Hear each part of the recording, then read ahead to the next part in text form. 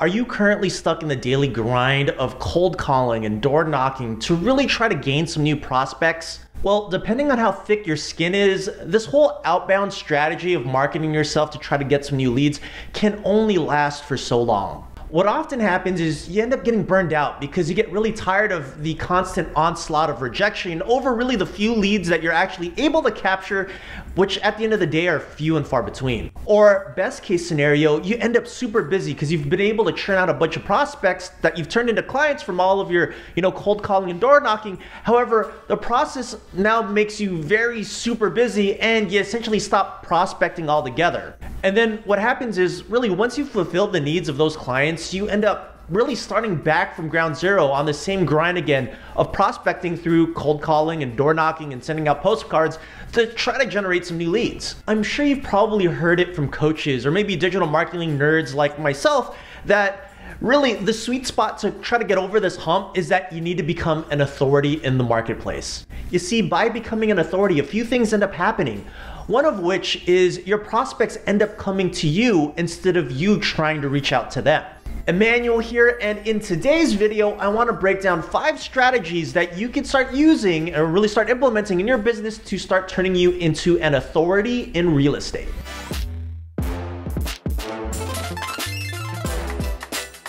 All right, guys, honest question. Do you want to stop cold calling and door knocking and sending out mass mailers to neighborhoods just to try to get some new prospects? Well, I have the solution for you, my friends. And that solution is to become an authority. Yep, I said it right. If you want prospects to start coming to you who actually want to start working with you, then you got to understand that the magic recipe to do this is really to gain authority. So, what exactly is authority when it comes to digital marketing? Well, the easy way to explain it is that once you become an authority, it really helps you garner and earn the attention of new or potential clients. You see, being an authority positions you as an expert. And let's be honest here, most prospects prefer to work with an expert in a particular vertical versus, you know, just a generalist. Now, my goal for today's video is to really break down some very simple strategies to help you become more of an authority in your particular market or in your particular niche. But before I get into it, you guys know the deal. Make sure you click the like button, the subscribe button, and the bell icon because you know it helps out the channel. It appeases the YouTube gods, aka the algorithm, and good karma on you for doing it. Thank you so much in advance. So strategy number one, as it comes to building authority in your marketplace, boils down to making sure that you're providing authority in the right place. The idea here is that you need to figure out what you want to specialize in or a location that you want to centralize your prospecting efforts towards, and then you have to do a little research. And by research, I mean formulating a plan to figure out where the majority of your five star prospects really hang out in the interwebs. Do you find that the majority of people that you idealize as your perfect client really hang out on LinkedIn? Or maybe they spend most of their time on Facebook. Or do they spend a whole bunch of time on TikTok or maybe Clubhouse? Strategy number one is all about identifying where your prospects are and choosing the platform as your central platform moving forward to start delivering your authority to. By the way, here is a quick pro tip. You see, many realtors, after going through this exercise, think that their prospects are all over the place. They're in LinkedIn, they're in YouTube, they're in Instagram, they're in Facebook, they're in Twitter, they're in TikTok. Granted, they may be in all of these locations, but you're gonna find out very quickly. If you're gonna try to be engaging in all of these platforms, you're gonna end up burning out super quick.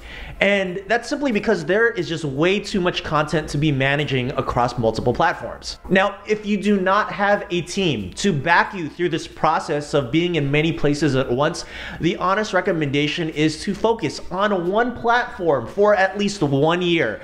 Then after one year, after you've gotten that authority on that platform, then you can start thinking about branching out to other ways to really create and curate more content and repurpose it on other platforms. Alrighty, strategy number two is all about content cadence. You see, the winners of the digital marketing game know one underlying principle for becoming an authority.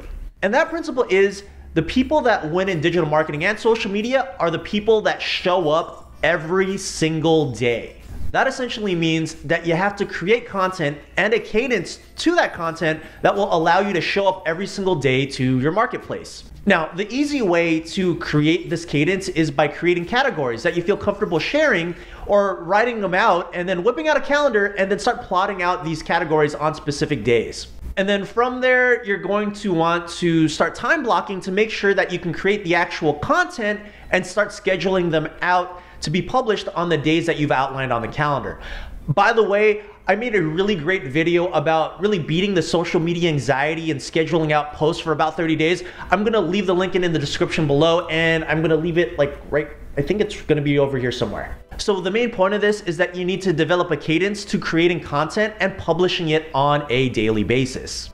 All right, strategy number three is all about developing your voice. Now, I only bring this particular strategy up because one of the things I often see being misused is that once you've figured out that, hey, you need to show up on a regular basis to create content and curate content on these platforms, uh, most realtors end up pawning off this particular duty of creating content to a VA or an assistant. All right, I need to have a real talk conversation with you for a moment. So let me zoom in on my face real quick and tell you that if you're gonna pawn off creating content to someone else, this is the worst idea that you can ever do. Emphasize on the worst idea you can ever do. You see, there is no way, shape, or form that someone that has less experience in real estate than you do can speak about real estate and the expertise of real estate to your capacity. And if you delegate this particular task, what ends up happening is your messaging that you're putting out there into the world ends up sounding very canned and bland. So instead, a better strategy for you to utilize when developing your voice is to actually start creating the content yourself. And once that content is created, then you can delegate the task of publishing out that content to maybe a VA or an assistant. You see, one of the key components of becoming an authority is your voice and your personality. So don't try to pawn this particular responsibility off on someone else. This responsibility should be strictly dedicated to you. All right, strategy number four is all about developing your visual brand. Now, this particular strategy is based on the premise that you want people to start recognizing you not only for your face, but for your colors and your typography and your logo and your voice. You see, all these factors are a cog in the machine, which is your brand. So if you're starting off, you know, really in trying to build this authority, you're probably just gonna be posting a bunch of text, you know, messages or Facebook live posts, which is perfectly fine. But as you begin to scale your content to really put yourself out there as an authority, then you're gonna need to take a step back and create content that really reinforces your brand so that people know that when they see a post that you've created that doesn't necessarily have your face, they're gonna know that it's you. Your brand is the vehicle that carries your mission, your vision, and your core values to the marketplace. It acts as a billboard to show prospects that you are authentic, trustworthy, and an authority. So if you're really starting off, you know, just trying to build that authority, it may not be a massive priority to you yet, but it is going to be one of the things that I highly recommend that you, you know, eventually end up creating as you start to really expand your authority and your expertise. And it's really to start creating a brand style guide or a brand Bible. By the way, created another great video on that, leaving it in the description below as well. And also up here. All right, really the idea here and really to bring this full circle is that when you're posting on Facebook or Instagram or YouTube or, uh, you know, if you're creating postcards to be sent out, you want to carry the same visual message uh, you know consistently across all mediums and you do that by really visually creating a stylistic brand. All right, strategy number five is to be reactive. This essentially means that if there's something big that popped up in the industry, or if there's some crazy objection that you've heard from a prospect, use this as fuel to your content fire. The idea here is that by listening to the marketplace on a regular basis for big breaking news, then you should be taking that news and being reactionary to it. To reinforce you as the authority, you need to be able to be up to date on current events and provide your own opinions about how it affects your prospects or your clients. You see, these types of reactionary events are really perfect times for you to submit yourself as an authority. If there's something in the marketplace that you feel that is riveting or rivaling your business, you can easily control the narrative by staying more on top of current events than your competition. Alrighty, this is a lot to take in, but I hope you found some value in this. By the way, comment section below, I wanna know, if you guys are trying to become an authority, I wanted to kind of get a feel out there for you guys watching, type in build authority in real estate in the comment section below. Let me know that that's really your goal to start building authority in this digital marketing kind of marketplace. Now, the reason I bring this topic up in this video is specifically because most agents um, are looking for an alternative to really what they've been taught by most brokerages, which is, you know, hey, go out there and grind and get on the phones and grind or get on the streets and grind. Um, but at the end of the day, there's another option for you to find success in real estate.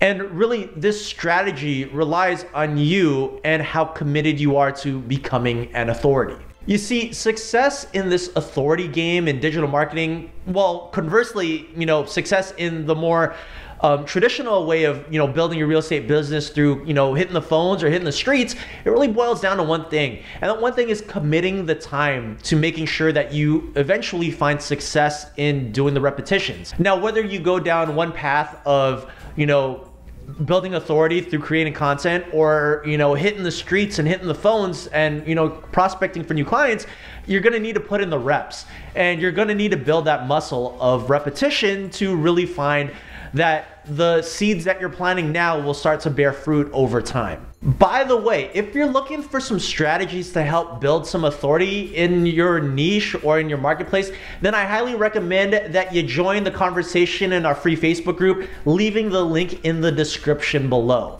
However, if you're looking for a framework that you can follow with like a step-by-step process with directions and a methodology to really place you in the position to become an authority, it's one of the things that we actually specialize in and I highly recommend that you click that button to schedule a strategy session with myself, leaving it in the description below as well. I'm happy to talk shop and really get into the nitty gritty of strategy and tactics to really brand you as an authority.